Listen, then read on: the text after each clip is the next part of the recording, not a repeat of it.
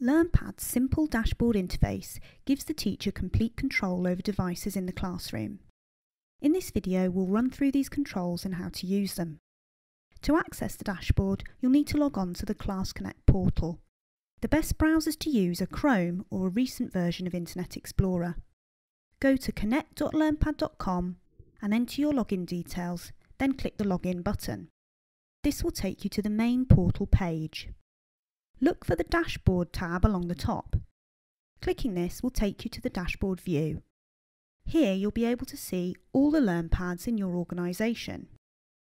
Along the bottom of the dashboard are the buttons you'll need. Your screen may not look exactly the same as this. Class View at the left is a premium feature and we'll talk through those functions in a moment. Let's begin with the control buttons. Before you start using them, don't forget to select the LearnPads you'd like to control by clicking them or by choosing a place or a group if you have this feature set up. If you have a lot of LearnPads in your organisation and only want to control a few, you can also click on Filter Selection so all the unselected devices are hidden. The first Control button scans for local LearnPads on the network. You probably won't have to use this one often. The pause button alongside this is really useful. It suspends the selected devices and switches off their screens. When you press the play button alongside, the selected LearnPads will wake up again.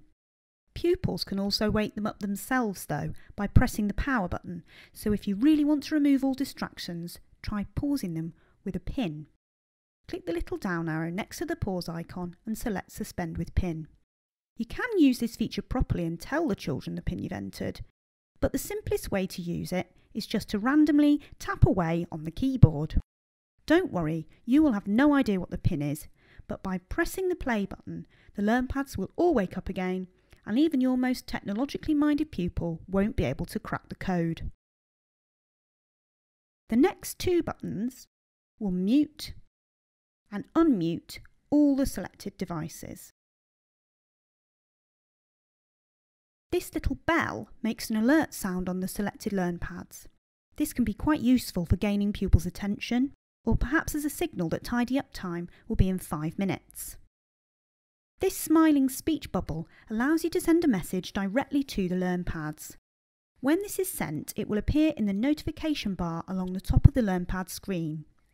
Don't forget that you can send messages even when the LearnPads are in another part of the school so even when you have a group working in a different room with a teaching assistant, you can communicate with them directly. This heart button asks all of the devices to check in with the server and is often quite useful. If a message or command doesn't seem to be getting through, try clicking the heart. The padlock allows you to lock all the LearnPads into student mode. We recommend that the devices be locked when they're being used in the classroom so that people stay focused on the activities you choose and can't meddle with the device settings.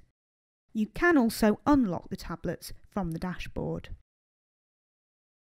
On the right is the lesson control. This is a great way to send specific lesson profiles to certain devices without scanning a QR key on each individual LearnPad. Click the drop down arrow to show a list of all the lessons that have been made by users in your organisation. You will also be able to see lessons you've selected.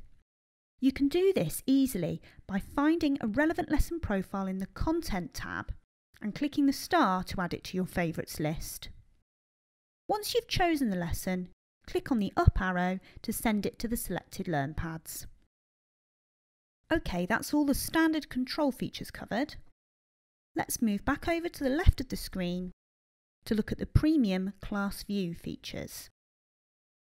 Most of these buttons are for focusing in on a single device, so we'll have a look at the video camera button first. Clicking this will show you what's happening on each LearnPad in real time. Again, a great way to check all pupils are on task, even when they're in a different room. Up here in the top right of the screen are the size buttons, which you can use to zoom in on the devices you're interested in. OK, let's move back to the first class view button, the little camera icon. This takes a screenshot of the LearnPad screen, but you need to make sure you've selected just one device first.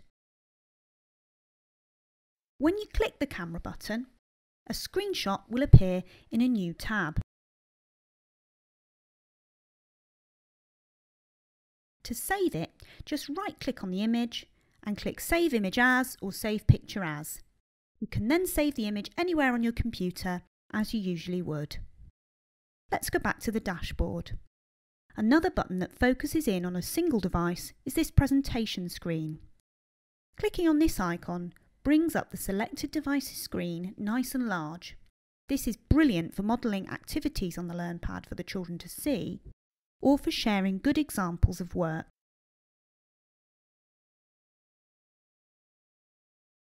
Finally, if we go back to the dashboard, you can use the Folder button to view the files on a selected device, which can come in handy for locating work to save or print, particularly with younger pupils who may not be able to hand work into the class cloud just yet.